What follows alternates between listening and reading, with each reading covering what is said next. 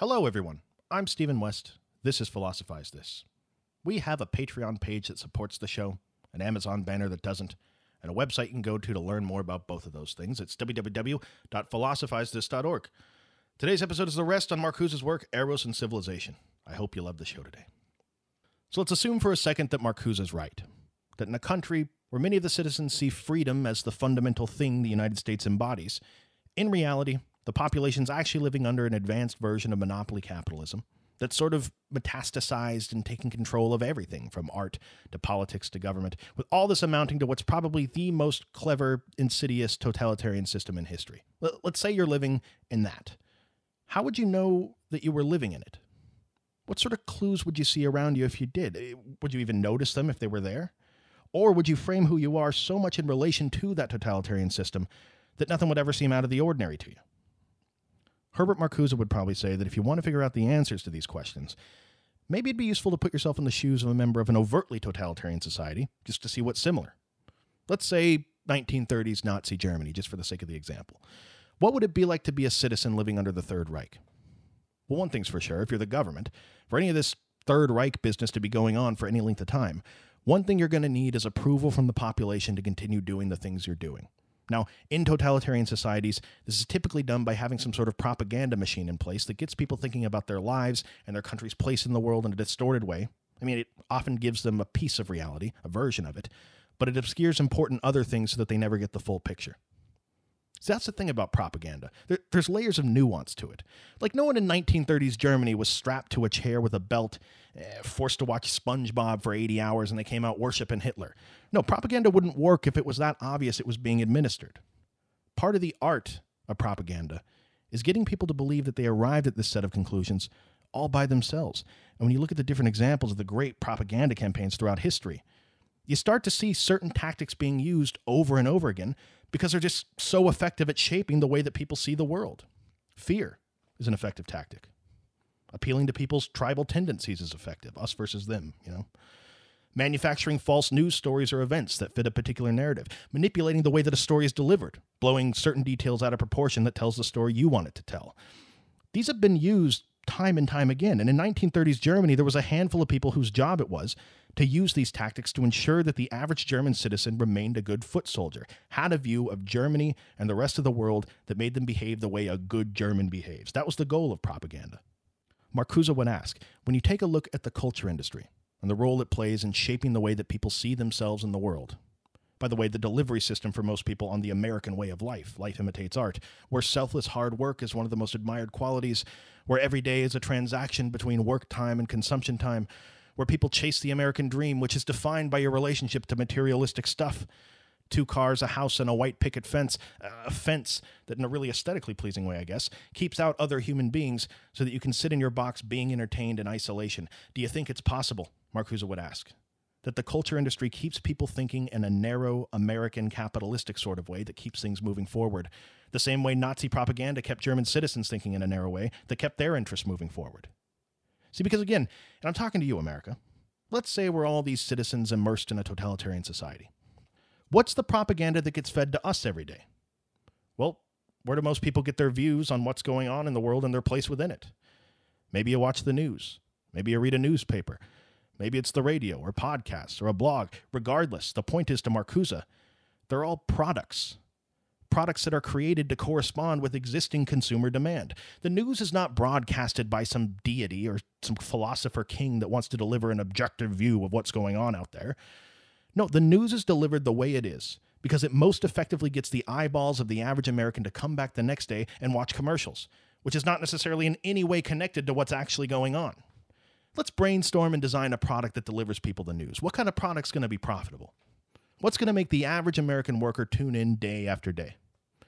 Well, like we talked about in the culture industry episode, when your life from the cradle to the grave is to go to a job eight hours a day that sucks the life out of you and then go home and consume products to feel better, look, understandably, the average American's not going to want to go home and do a grueling study of quantum mechanics in their free time.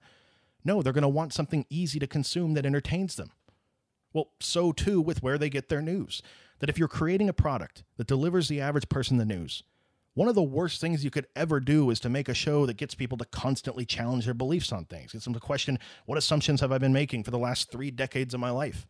That's a lot of thinking. That's hard work. You wouldn't want to make a show that goes into a really deep, nuanced, for most people, boring investigation of any of these highly complex topics the news passes off as simple. No, that would be exhausting to listen to for most people. What most Americans want after an exhausting day at work is not to put in even more work improving themselves. They want something easy. They want a product that tells them, you're right. You're absolutely right. No more work to be done here. You got the world all figured out. And just like many propaganda campaigns that have existed throughout history, this product then delivers to them a simplified, distorted view of reality that reinforces this world picture. Marcuse would say that it's not a coincidence that these products created to deliver the news to people oftentimes use the same sort of tactics to get people to tune in that have been used in propaganda campaigns throughout history. We, we can go right down the line of examples we just gave. Fear. This just in.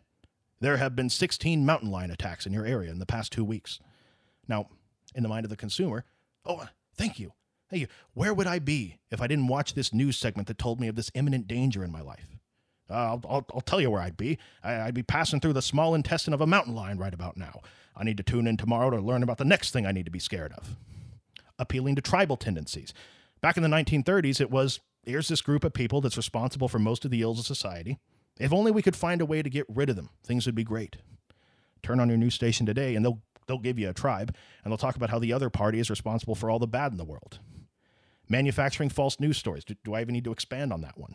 Manipulating headlines and phrasing using words that they know will trigger a certain negative or positive response from people. This is being done right out in the open. To Marcuse, these are products being sold to people that are designed to validate a limited worldview, that scratch the itch of feeling politically involved, but never require people to do the actual work of challenging their beliefs on things and understanding the world at a deeper level.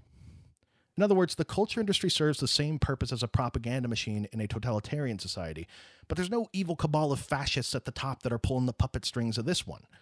No, the people that produce the products in the culture industry aren't evil. In reality, they're just trying to keep the lights on like everybody else. They're just trying to create a product that turns a profit and keeps them in business. What can you do if this is just the type of programming the average person wants? So, what's another example of a clue we might see if we were living in a covert totalitarian society? You know, a common misconception of the Frankfurt School, and many neo Marxists for that matter, is that they're all these big government types, that they want to bring about a world where the government has an enormous amount of control over the life of the average person. Actually, on the contrary, there are sections of the Frankfurt School's work that almost sound like a neoconservative critique of FDR's New Deal. I mean, you want to talk about clues that are all around you. They would say, look, it is not a coincidence that there has been such a massive increase in the size and scope of the federal government over the years that people in capitalist societies are often educated to think about the public and private sectors as two things that are divorced, separate, and sort of regulating each other. And that may be somewhat true in a more traditional capitalist society, but in a monopoly capitalist society, they're just two arms on the giant leviathan of capitalism that controls everything. Giant bailouts and government programs that artificially prop up the weaknesses of a capitalist system that should have failed long ago.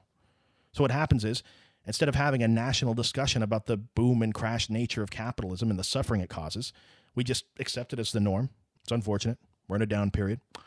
Then use massive government encroachment into people's lives to save ourselves. In the case of FDR, hey, everyone's got a job now. You're all working for the government. In other words, forget your own personal freedom and individuality for a while. We're in an economic depression right now. Times are tough. You need to fall in line, be thankful for the job we give you, and become a cog in a machine. Does that sound at all familiar to other forms of totalitarianism? They would ask. But there's a lot of ways the Frankfurt School thinks the government props up capitalism from failing. Not that they think welfare checks are something to be abolished, but they would say that an unintended consequence of having them available to people is that it sort of sweeps under the rug another failure of capitalism that capitalism produces sick, alienated people. People get depressed. People get addicted to substances to cope with feeling bad.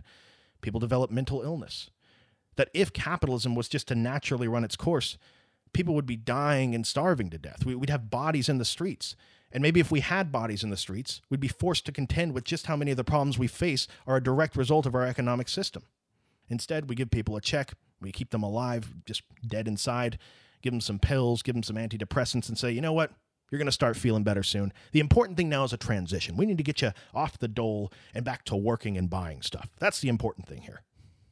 Marcuse would want us to consider If you could go back in time and talk to a citizen of Germany under the government of the Third Reich, these people weren't just mindless robots blabbering on. I mean, if you ask them why Adolf Hitler was the best thing for them in the future of the world, they would have arguments primed and ready that they believe they arrived at on their own, talking points marinated into them over years of propaganda, many of which designed to undercut a more nuanced conversation before it even begins. Marcuse would ask, is it possible that a lot of Americans are not too different from this, just with different talking points that justify capitalism?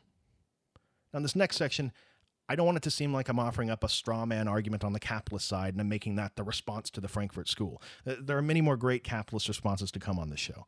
But that said, in keeping with the thought experiment today that Americans are citizens of a totalitarian society, if the problem in America is one of class consciousness, as the Frankfurt School says, then in that world, the argument the average person's going to give for why capitalism is good and Marxism is bad is not going to be some deep, complex argument that's come from years of thoroughly educating themselves.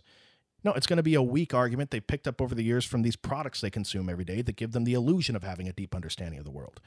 And just like in 1930s Germany, where many of the talking points aimed to end a more nuanced conversation before it even began, a defense mechanism, Marcuse would say that there's a type of person in America who just dismisses all of Marxism and parrots some variation of, you know, Marx, neo Marxist, post Marx, all these Marxist types their problem is that they just don't understand this thing about the way the world works, or that thing about how human beings are.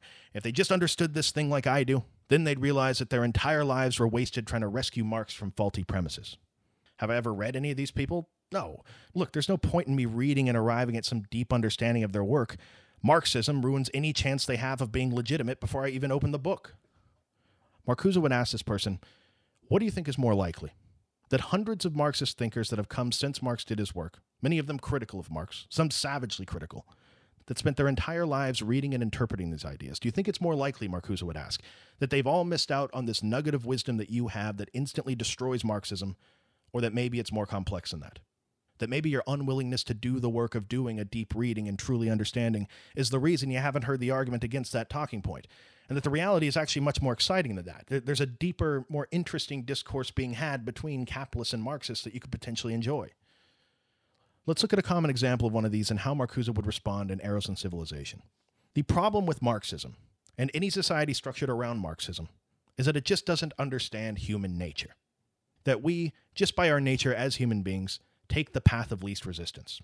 We're as lazy as we're allowed to be as people. This goes down to the very roots of our instinct to survive. For example, if you needed water to stay alive, and there's a stream five feet away from you, and there's a stream 500 miles away from you, which stream are you going to get your water from? Of course, the one five feet away. Sure, it would be great if we could have a society where everyone's basic needs are taken care of and people just did what interested them.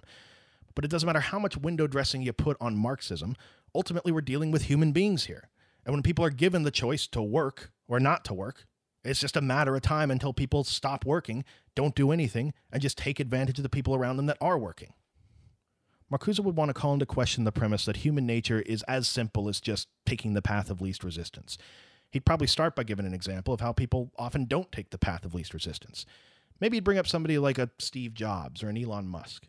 Like, these are people that very clearly aren't doing just the bare minimum required to survive and then sitting around all day. These are people that very clearly are not putting in all the hours they're putting in for the sake of money. These aren't people that are extrinsically motivated by money. They're people intrinsically motivated by a creative vision they have for changing the world for the better. So if it really is just human nature to take the path of least resistance, why do people like this exist? And this person may respond to Marcuse. Well, those guys are the exceptions to the rule. These guys are the outliers on the bell curve. But let's not forget about the rest of the bell curve for every one Steve Jobs you have, you're going to get 10,000 people that just want to laze about all day doing nothing, taking advantage of the work Steve Jobs has put in. Marcuse might respond by saying, well, why does this psychology exist in much larger numbers, just not by people as powerful as Steve Jobs or Elon Musk? What I mean is, what about everyone smiling and awkwardly high fiving on Shark Tank every week?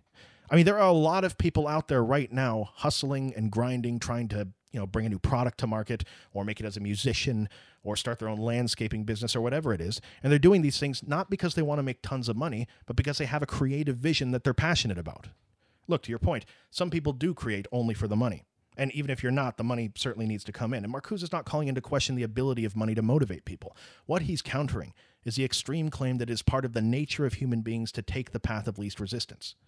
Why do we have so many people resembling Steve Jobs and Elon Musk, expending so much energy to create something they're passionate about? Why do we have so many people beyond that, where even if they aren't actively hustling to create something right now, can relate to this part of their psychology, have at some point in their life tried something like this and just failed? What Marcuse is going to reference in Eros and Civilization is a concept from Freudian psychology commonly referred to as the dual instinct theory. For a lot of Freud's work, he heavily emphasizes the impact that libido has on what drives our behavior, even if it's just at an unconscious level. But in the beginning of his 1920 book, Beyond the Pleasure Principle, he recounts working with soldiers from World War I that seemed to be experiencing what we would call today post traumatic stress disorder. They're having recurring dreams and thoughts reenacting how close they came to death. He works with children who lost a parent, and continuously, almost impulsively, they throw a toy and then retrieve it over and over again, simulating the loss of their parent. What Freud theorizes is that human behavior is not as simple as a drive towards life and a removal of tension. That we all exist in our psychology in a constant, irreconcilable conflict between two drives. One is Eros, which you may recognize as the Greek god of sexual desire or attraction, and number two is Thanatos. It's the figure in Greek mythology that represented death. Now, Eros may be the god of sexual desire and attraction, but to Marcuse it goes much deeper than that that this desire to sexually reproduce with someone is at its core an act of creation. And this drive of Eros extends to, and is the part of our psychology that's responsible for, why we have a drive to produce all other forms of creation. In other words, the same drive that's responsible for that frequent desire you have to have a baby with someone you're attracted to, that's the same part of your psychology that makes you want to create other close bonds with people, to put in the work to create deep friendships, to put in the work to create a family life in your home that's close and loving, or to create a close community. That's not all, though. It's also that part of your psychology that makes you want to create a great symphony that lives on after your death, or create a company that you pass down over generations, or start a blog that's impact lives on long after you die. This drive of Eros is a fixation we all have on life, survival, and creation, both at an individual level and a societal level. Thanatos is a fixation we all have on death at an individual and societal level. To Freud, the two of these are in constant conflict and are irreconcilable. Marcuse doesn't agree, though. He thinks one thing Freud failed to consider is that Eros and Thanatos are always developed in the mind of an individual within a particular social framework. A social framework that has a huge effect on how we see ourselves and what we even desire to do as people. And that the battle between these two drives is actually something that's been created historically by us for the benefit of society. Let's explain that further, building on what we talked about last episode. Throughout history, the repression of certain human instincts has been necessary for civilization to function well throughout history, we've always needed people working eight, nine, ten hours a day just to be able to produce the bare minimum required for most people to have food, water, shelter, and other basic needs. Now, another way of putting that is that throughout history, all of the creative drives that people have had in the realm of Eros needed to be repressed for the sake of the world continuing. Look, when we need people working 10 hours a day just to be able to persist as a species, we don't have time for people to spend all day being some kind of sexual explorer like they're Vasco da Gama. We don't have time for you to spend hours and hours every day connecting with people, creating tons of super close friends, spending 14 hours a day with your family just because you enjoy it. We don't have time for you to sit around and write a symphony or create some blog that interests you. We got work to do, right? And it doesn't matter how often you have that desire towards creation and life, you need to push it down, repress it, and fall into your role within the economic system of your time. This has benefited us tremendously throughout history. Well, in today's world, we're still doing it. For our society to keep moving at the rate it's moving, we need the majority of people to go to work eight hours a day, all the while from birth being told to be reasonable, get a real job, and push down and repress that drive of Eros if it ever gets too loud. That's going to take up way too much of your time. Marcuse would ask, why are we doing this? The argument we talked about last time was that we need to repress certain human instincts and freedom for the sake of the benefit it provides to society.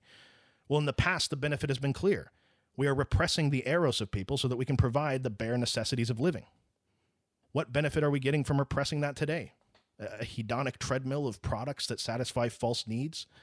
The ability to get the next plasma TV, to get the next car in a more efficient manner than it would otherwise get created? Marcuse would ask about the United States in particular. What, the, the ability to buy stuff, throw it away two months later, what ends up in the ocean, and then continue to suck the Earth drive resources? Colonize the globe with hundreds of military bases so we can make sure we have control over those resources when we need them to continue this whole process. To the person that makes the claim that it's just human nature to take the path of least resistance, and that when given the chance to work or to sit around and just consume all the time, people are going to choose to sit around, do nothing, and consume. Marcuse would ask, how much do you think that's affected by the fact that people are conditioned from birth to think of themselves in terms of work mode versus consumption mode? How much do you think people are affected by the fact that before they even enter the workforce, whenever that Eros voice in their head starts speaking, they're told to silence it and repress it because we just need workers. We need workers to continue this capitalist vision. In other words, how much are we programming into people's heads this forced work versus consumption dichotomy that you call a part of human nature? Like if you gave the average worker in the United States $100 million and said, you no longer need to work anymore, do whatever you want, you're free, go. Let's say they won the lottery. Marcuse wouldn't be surprised that the average person probably wouldn't take that $100 million and do things with it like they're Elon Musk. No, every day of their life up until that point they got the money has been framed in terms of uh, I, I work when I have to work, and when I'm not working, I'm consuming as much as I can to recharge my batteries because I know in the back of my mind I have to go back to work the next day. These are my two modes work and consume. Marcuse wouldn't be shocked that if they were given 100 million and didn't need to work anymore, they would go into consumption mode. They'd buy a bunch of cars they don't need, clothes they don't need. They'd give their brother 80 grand to open his vape store. In other words, they're going to do what they did any other time they didn't have to work in a capitalist society sit around, do nothing productive, and consume stuff until the money's gone and they have to work again. But is this human nature or historical conditioning to keep capitalism going? Marcuse would say maybe the reason there's such a difference between what Elon Musk feels like doing with $100 million and what the average person feels like doing with it comes down to the level of repression society is required for them to place on that desire to create in their eros. What would the average person be like if instead of repressing eros from birth, we nurtured it and tried to develop it? Not that everyone would be Elon Musk, far from it, but you'd have to acknowledge that this repression has a very real effect on how often this muscle of creativity is used in the average person.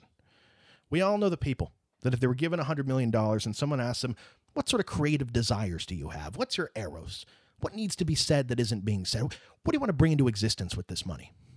And they'd respond with, Nothing. Nothing really interests me. Don't really care about creating anything. How much of that can be explained by them silencing that voice inside of them every time it's spoken up throughout their life? It's a muscle that's atrophied for the sake of an economic role they play, not some lazy consumption mode that's imbued into human nature. What would happen if we didn't ground our entire society in this repression of these creative drives just so that we can keep making plasma TVs? What if it wasn't about efficiency at all costs anymore? What if we had a simulation? Picture a simulated world where we could change certain elements about society and watch it play out. Instead of 40 hours a week, we're going to slowly dial back the work week to a point where machines do the majority of the work. People only have to work two hours a week, and they spend the rest of their time doing what they want and exploring this Eros part of their psychology. What would that society look like? What would the average person be like? Marcuse would say, We can't know. Now, keep in mind, there's a reason we're doing this in a simulation right now, as opposed to in the real world. It, this would never work in the real world. I'm sure some of you out there rolling your eyes at it. Oh, oh, Marcuse, you solved the world's problems. Oh boy, we're all going to get off work early and write symphonies together. Uh, do some finger painting afterwards. Really, that's what you think people are going to do with their free time? Marcuse fully realized the solution's not as simple as just us dialing back the number of hours people work and saying, you're free, go. Uh, check out that Eros thing I was talking about if you get a chance. No, like we talked about in another episode, Marcuse says that you never implement by force some sort of sweeping change like this. That everything about the way an average worker views themselves is in terms of being a worker and consumer. The absolute worst thing you could ever do is throw out capitalism today and implement Marxism tomorrow. He's actually highly critical of people that try to force a Marxist revolution in a country that's not currently in a state of revolution or pre revolution. I mean, to him, that's one of the big mistakes Marxist revolutions have made in the past. You, you can't just take people that have repressed this eros for their entire life and expect them to do some sort of psychological about face just because you've given them a new economic role to play. But anyway, Marcuse is not saying that we should all work as little as possible and do more arts and crafts with our friends and the world's going to fix itself. No, it's more that here's an interesting point. Here's an entire section of our psychology as human beings that all throughout history we've had to repress for the sake of survival that we no longer necessarily need to repress. What would the world look like if we didn't? How much suffering is being caused worldwide every second that we don't? He'd follow up Are there particular genders and races that have been historically repressed for the sake of society more than others? Marcuse asks us to consider a lot of questions. Should we ignore the negative effects capitalism has on the mental health of people through its tendency to alienate? Should we ignore the negative effects it has on the planet with its overproduction and waste that just ends up at a landfill somewhere? Should we ignore how the culture industry naturally serves up products that keep people ignorant and complacent about their views on things? Here's the most important question to Marcuse, though Do we have a moral imperative to stand against the systems that dominate and repress people to keep capitalism going on the backs of billions of people suffering? This is why Marcuse titles another one of his books One Dimensional Man. This advanced totalitarian capitalist structure is maintaining a one dimensional society, one that, quote, conforms to existing thought and behavior and lacks a critical dimension and a dimension of potentialities that transcend the existing society, end quote. See, because if we were all in a totalitarian society right now and everybody wanted to get out, Marcuse would say that the way out of it's never going to be a revolution by force. We've seen time and time again throughout history that that fails. The way it's going to come, if it's going to come, is slowly, over the course of generations through a gradual shifting of class consciousness. This shift to Marcuse is only going to happen if the citizens, as individuals, look in the mirror, become self aware of their participation in the way that things are, and make a resolution to an extreme type of radical subjectivity against the current system that represses people. He calls this resolution he thinks we all have to make the great refusal, or as he puts it briefly, the protest against that which is. Doug Kellner describes it like this quote, Marcuse constantly advocated the great refusal as the proper political response to any form of irrational repression. And indeed, this seems to be at least the starting point for political activism in the contemporary era refusal of all forms of oppression and domination, relentless criticism of all policies that impact negatively on working people and progressive social programs, and militant opposition to any and all acts of aggression against third world countries. Indeed, in an era of, quote, positive thinking, conformity, and yuppies who just go for it, it seems that Marcuse's emphasis on negative thinking, refusal, and opposition provides at least a starting point and part of a renewal of radical politics in the contemporary era. End quote. Now, this leaves the individual with a bit of a problem, and it's not a trivial problem. Let's say I'm sold. Let's say I want to do everything I can to ensure that people aren't needlessly being repressed in today's world because of thinking from another time in history. This leaves you in a bit of a weird spot if you're a citizen of a totalitarian society. Because any change you want to make to the current system and the way that things are has to be brought about using the tools from within the current system and the way that things are. For example, let's say you wanted to do something about money being connected to political power. The challenge you have to overcome to make something like that happen is that the people who would have to pass the legislation to fix the problem of money in politics are the very people who benefit from there being money in politics. Or let's say you wanted to change the mind of the average worker, show them the propaganda that the culture industry feeds them every day. You would have to use the tools of the existing culture industry to subvert the culture industry. This goes down to the most fundamental level. Even the language and the syntax and the examples you use have to come from this existing one dimensional society that doesn't see itself that way.